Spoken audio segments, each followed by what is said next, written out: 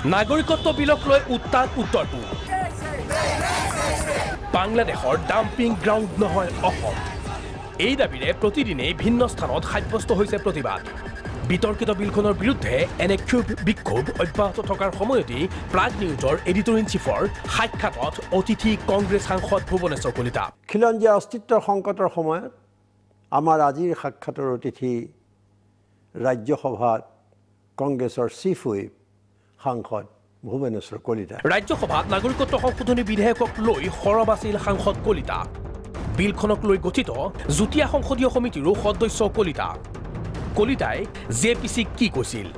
কওঁ যে এতিয়াও এটা সংশোধনী আনক উত্তৰ পূৰ্বাঞ্চলক এই বিধেয়কখনৰ আওতাৰ পৰা বাহিৰলৈ আনক আমি বিধেয়কখন সমৰ্থন কৰিম।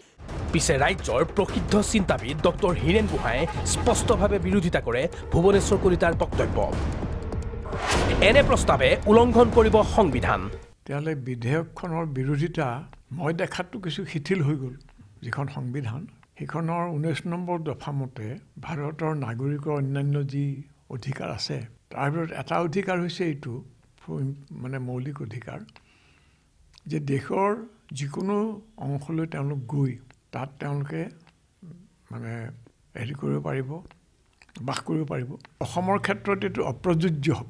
প্ৰয়োগ কৰিব পৰা নাযাব এইকাৰণে কাৰণ। নাগৰিকত নাগৰিকৰ মৌল মৌলিক মৌলিক অধিকাৰ এটা ই মানে হেৰি কৰিব।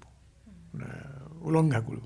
গতিকে ভুৱনেশ্বৰ কলিতা ডাঙৰীয়া অভিজ্ঞ মানুহ পাঁচবাৰকৈ তেওঁ নিৰ্বাচিত হৈছে সাংসদ হিচাপে।